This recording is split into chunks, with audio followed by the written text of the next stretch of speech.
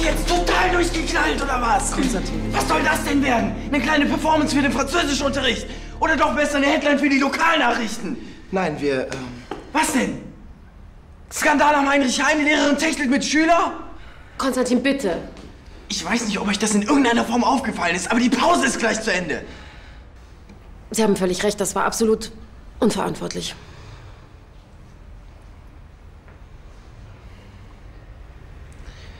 Anne, du kommst jetzt mit, du Wahnsinniger. Vite, vite Monsieur, dame, silence, s'il vous plaît. Alors,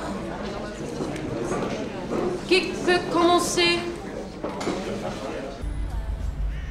Alors, merci beaucoup, à demain.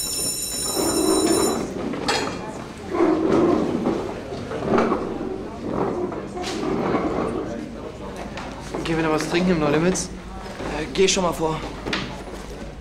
Schließ wenigstens ab oder bist du echt scharf auf den Skandal? Geh.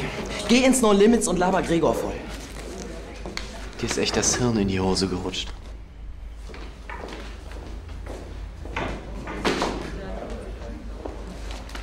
Paul, was willst du noch? Von dir die Wahrheit. Dass du genauso viel für mich empfindest wie ich für Mein Gott, wir können froh sein, dass es eben nur Konstantin Wenn war. der Trottel nicht reingekommen wäre, hast du nicht gespürt, wie viel da noch zwischen uns ist? Das bildest du dir ein.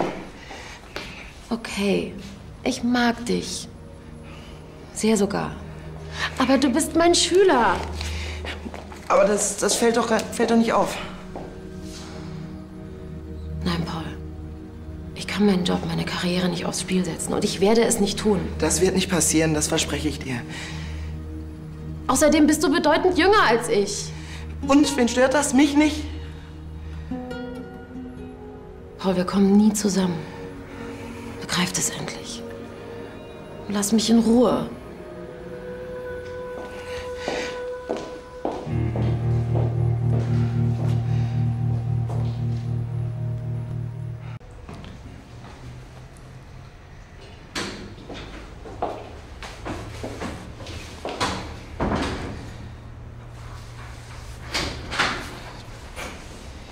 Anna?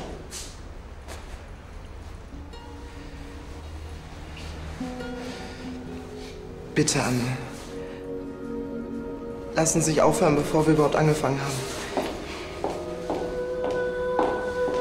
Anne!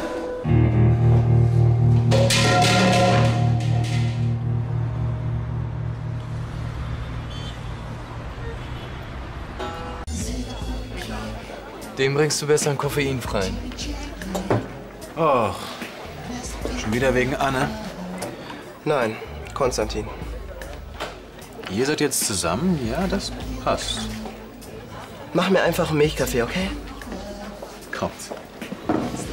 Besonders lang musstest du bei der Siebert ja nicht nachsitzen. Anne war in mich verliebt. Sie hat es zugegeben. Paul, wann vergisst du die Frau endlich? Es ist sinnlos. Und weißt du, dass ich mir das Ei selbst gelegt habe? Anzeichen geringfügiger Gehirntätigkeit? Ich hab dir gleich gesagt, du sollst die Finger von deiner Lehrerin lassen. Mann, dass ich sie mit der kleinen Jensen eifersüchtig gemacht habe. Das nimmt sie mir übel. Wieso hast du mich nicht davon abgehalten? Dich? Na klar. Und morgen laufe ich über den Rhein. Ich bin so ein Idiot. Erzähl mir was Neues. Sie hat gesagt, es wird nie wieder was zwischen uns laufen. Nie wieder. Eine kluge Frau.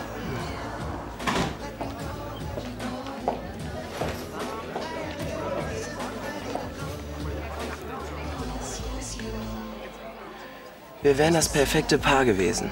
Aber leider eine Nummer zu groß für dich. Ich muss Anne einfach vergessen.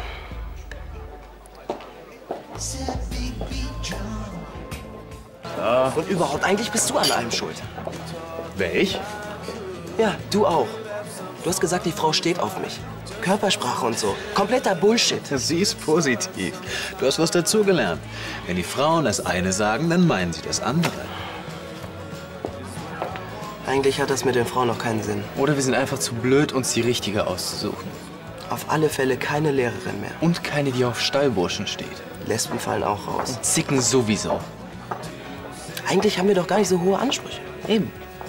Die Frauen haben einfach nicht kapiert, was sie verpassen.